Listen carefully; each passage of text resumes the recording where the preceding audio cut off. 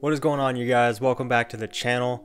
Uh, it is it is Tuesday, December 8th. Uh, I know this is a little unusual, but uh, normally I just do one video a week. Uh, I kind of had the itch to make another video and see how it goes putting out this second video this week. Uh, I'm going to try and get this up by tomorrow. The thing that I really want to talk about today is portfolios. More specifically, I guess I'm going to gear this more towards portfolios for junior developers um, as I am not technically titled as a junior developer. Uh, my professional working title is front end developer, but I am technically new to the industry. I do have a portfolio. Uh, I was a bootcamp graduate and going the self taught route before that. Uh, so my portfolio is probably somewhat comparable to other people who come from that situation or that type of background. Uh, and today I'm going to be showing you guys the portfolio that I used while I was applying to uh, jobs in search of my first developer job. Now, there are a couple things that I want to talk about first. And part of that is why portfolios are so important when searching for developer jobs. The reason behind this is because your ability to get hired as a developer is really based upon your skills. Uh, you need a way to prove that you have these skills and a way to showcase them. And that's what your portfolio is really for, is being able to demonstrate your capabilities to someone uh, and basically convince them why they should hire you. Because if you think about it in terms of, say you wanted to hire somebody to do something for you, like say work on your car, but they have no way of proving that they've ever actually worked on a car before, the odds that you're going to trust them with that job is substantially lower than if they have a way of proving it, like if they work for a reputable company or they're a certified mechanic.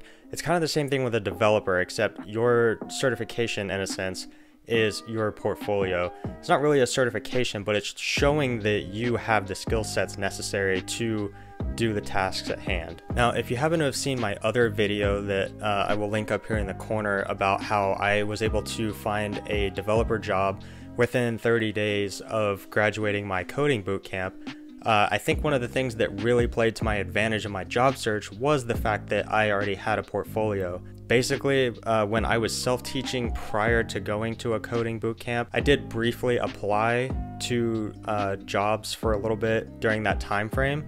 Uh, I was unsuccessful in finding work, I just didn't have the skills necessary at the time, but I had already constructed a portfolio. So essentially, what I did after I graduated from Hack Reactor uh, was I took all of my latest projects that I had built during that time and I added them to uh, my existing portfolio and basically replaced my old, less less uh, attractive projects, I guess you could say. Now, something that some people may not know about coding boot camps, or at least the one I went to in particular, which, as I mentioned, was Hack Reactor, uh, building a portfolio is not actually part of the curriculum at these coding boot camps. You essentially kind of get projects that would go on your portfolio, but building the portfolio yourself is kind of something that you have to take upon yourself to do after graduating. Now, I kind of had an advantage in the sense that, like I said, I already had a portfolio. I just had to replace my projects that were on it. This was a big leg up to me to get a head start in the job search because I already had this, and a lot of other people graduating from coding boot camps did not have portfolios. Uh, they didn't really have this uh, this like one link that they could put on everything that they send out, um, whether that be emails, job applications, resumes. They didn't have this single uh, endpoint, this portfolio link that they could attach, and somebody could click on it and go and see all of their latest work uh, in one central location. Maybe they would have links to all their projects or to their GitHub, but uh, you know, most of these hiring managers are not code savvy. They're not to go look at the code in your GitHub and know what you're doing. Um, they want a place that they can see your actual projects. Um, and you know, some hiring managers want the same thing. They don't really want to go dig through somebody's code and look at everything. Uh, they would rather just see uh, your projects and see that you know how to build something. Now, some will go through your GitHub, but I'm sure at the end of the day, they would much rather just be able to look at a hosted project and see the end result. And then if they have something more detailed that they want to see about that project, then they can go and dig through your code. But with that being said, let's go ahead and get into the portfolio. All right, so let's go ahead and get into this portfolio. Uh, so this that you're seeing on screen is the exact portfolio that uh, I used when I was uh, searching for my first developer job. As you can see, it, it's not super uh, complicated. Um, and if I'm being honest, a lot of this I actually did not build myself. There's something that's very popular, especially as a junior developer, um, if you're or if you're just not great at design. Um, one of the things that I would recommend is uh, exactly what I did, which um, this this uh, portfolio is actually built using a template. Um, it's built on React and Gatsby, uh, or Gatsby JS, which is kind of like based on React. So I used a Gatsby template. Uh, these are pretty easy to find, uh, not too difficult to set up, but basically you find a template that you like and then you um, initialize a project from that template and then you can modify it as needed to suit your needs. One other thing you'll notice is up here in the top, the domain is uh, my name. So I uh, purchased my own domain to host this website on. It's actually hosted on Netlify uh, and then I attached the domain that I bought um, to it. Uh, I think that it just kind of adds a, a, nice little professional look to it, uh, shows that I take it seriously. Uh, I don't think it's really necessary, but it's a nice touch. And uh, you can get a domain for pretty cheap. Uh, this one, I think I paid probably like 10 bucks for a year. Um, it does depend on what the domain is. Some are more expensive than others. Uh, some are substantially more expensive than others, but fortunately this one was not very expensive. So I have this nice header section over here uh, with a photo of myself. Some people are 50-50 uh, on the photo thing. Some people don't think that you should have photos of yourself uh, on your resume or your portfolio because um, there are people who are judgmental, um, but you know, I just thought it was a nice touch, a nice personal touch. Uh, so I have this photo of me up here, nice little introduction and what I am. Uh, I do label myself as a full stack developer, but in the workplace, I am a front end developer. Um, below that, I listed links to some of my social accounts like my LinkedIn, my Twitter, uh, which was geared towards developing, uh, or which is pretty much only geared towards uh, development. Um, I also have a development based Instagram. I'm sure a lot of you probably follow that uh, and then my GitHub link right here. So all my all my links to uh, things that somebody may find of interest uh, are right here in this header section. Uh, over here on the right, I have an overview section. Um, basically says who I am, what some of my qualifications are, uh, such as my bachelor's degree, uh, which just a side note, this is not where I learned how to code. Um, you absolutely do not need a bachelor's degree to do this. Uh, I just I just happen to have a bachelor's degree, so that's that's my disclaimer. But yeah, and then I stated that I was seeking full-time uh, software engineering opportunities uh, in the area. So I added a nice little personal touch here at the bottom. Uh, I had something very similar on my LinkedIn profile just something to kind of like show that I'm a real person uh, that may, you know maybe somebody could connect with in some kind of way. I didn't want to seem like a robot basically, and that that all kind of comes down to like an opinion. Uh, you can be as personal or impersonal as you want on these things, but just remember to keep it somewhat professional. It is uh, essentially your developer resume in a sense, but yeah, just be aware of that. And then as you can see below that, I have my skills section. So, uh, skill section, this was uh, at the recommendation of um, my career services manager across everything uh, as far as my resume, my LinkedIn, uh, portfolios if you have them. Uh, basically, any technology you've ever laid eyes on or used in the slightest bit, uh, list it. You may not be the most fluent in that technology, but maybe you understand the basics of it if you've used it. the biggest thing here is that um, this is more so for your resume than portfolio. Um, I just like uniformity across them. But for resumes and LinkedIn's, uh, these are essentially buzzwords or keywords. Um, they will help your resume uh, get through filters if there's certain keyword scoring systems uh, that a company's uh, resume tracking system or applicant tra- tracking system is using.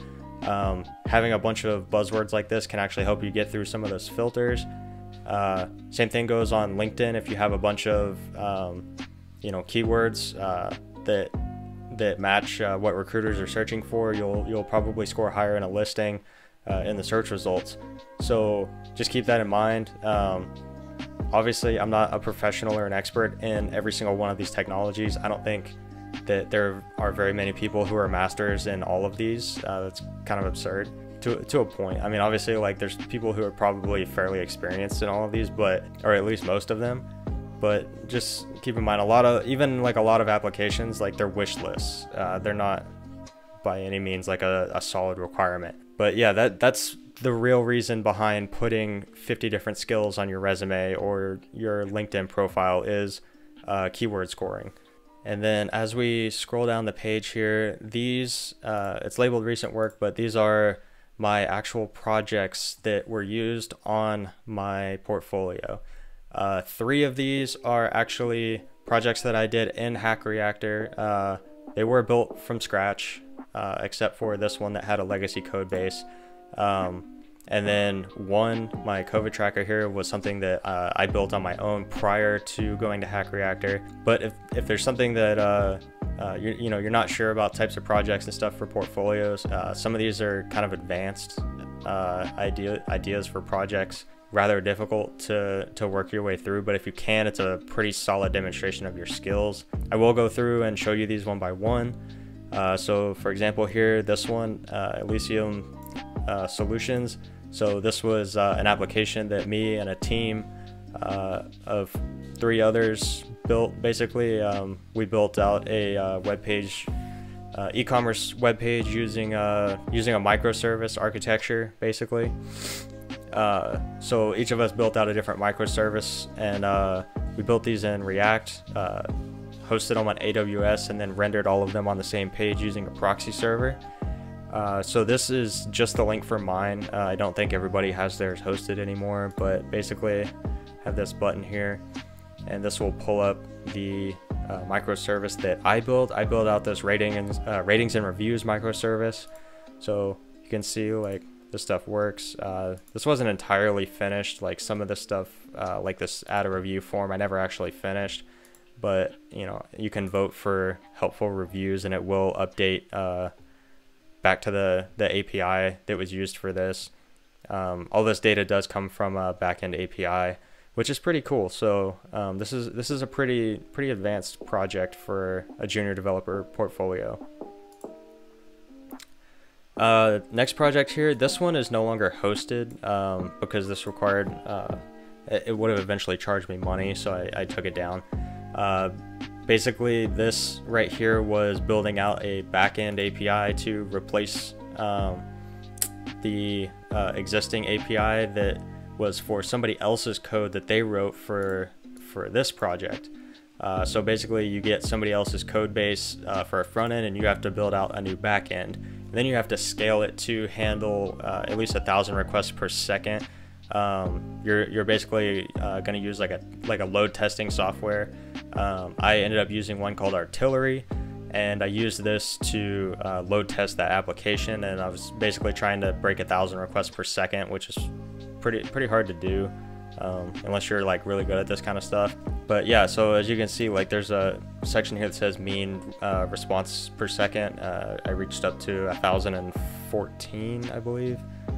Uh, yeah but basically like that that number will climb until your server can't handle the load anymore and then it will crash and the number starts plummeting very very difficult project uh, that, that one's a lot harder than uh, this first one here uh, so next was uh, an MVP project, uh, minimum viable product that uh, I was working on at Hack Reactor. This was the final project before I graduated. Um, this was a fun project and basically like I, I was building just like a a simple platform for developers uh, to like share their pro- uh, share their projects, and then others could vote for projects that they liked. Uh, it was pretty simple. Um, uh, I just called it Cedar. It was a working title. This one is on Heroku, so it takes a second to spin up the instance. Uh, but yeah, so this was built in React, and then this one has a MongoDB Atlas database connected to it, um, which is where it's storing all of this data uh, some of the people from my cohort actually did put their uh, applications on here, like Puppy Rescue was one. Uh, I think there was another one on here somewhere. Yeah, Dirtbag Companion. Yeah, so a couple, you know, people that I was actually in class with had put their applications on here. Um, I just thought it was kind of a cool little project, a way for people to share their stuff. Uh, and this was kind of an example of like what happens when you you want to see um, the applications that people put on here. I think some of them like don't have photos like this one. Yeah. Um, but yeah, just simple examples. And then, you know, these are uh, sorted in order from like the most popular ones like Google down to the least popular. And then if say somebody upvotes one, the order will uh, change to reflect that so that they stay in the order of the most popular uh, applications. And then I have a form here that you can, you know, upload new um, applications if you want to submit your own application. Uh, and then, you know, anybody can see this. So never really got around to finishing it, but it was a fun project. Uh, it was cool to be able to share that with other people that I was working with at the time. And then this uh, last one here is my COVID tracker. This was one that I built prior to going to Hack Reactor. Uh, this one was always kind of a work in progress too. Uh, I wouldn't really say I ever like finished it, um, but it was a lot of fun to work on. This one is also hosted on Netlify. You can see the link up here. Uh, so this one pulls um, COVID-19 data from, uh, oh, probably shouldn't say that, uh, censor myself. I don't want to get in trouble with YouTube for false information. But anyways, so this uh, this data comes from an API that basically updates. Uh, it, it, pulls all the data from different countries, um, centralizes it, and then updates that uh, data anywhere from uh, like as often as their data gets updated. So like probably every like hour it gets updated. It might even be better than that now. And then you can search this by country too.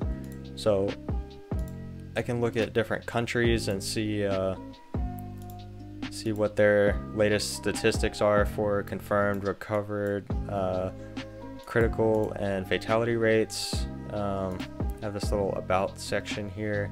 Uh, fairly like simple project, but I thought that it was really important at the time that you know I know like every every developer on the planet was building one of these, but I just thought that it was a cool project. So um, the last little like nice touch with this section is uh, this isn't like a requirement by any means, but it's a nice touch um, to save some people some time. Uh, like I have these these uh, GIF images here, so basically I recorded uh, short videos of my projects, and then um, I used uh, like a web-based converter to convert the uh, video files into GIFs, and then I set those as the display thumbnails for these cards. So uh, basically, like it shows like a short demonstration. You can see this one's kind of outdated because um, it doesn't look like this anymore. But yeah, it gives like a nice little demonstration of the application like before they actually go and visit it. So if for whatever reason they can't load the application, there's still like this nice little demonstration here that shows what it's supposed to do.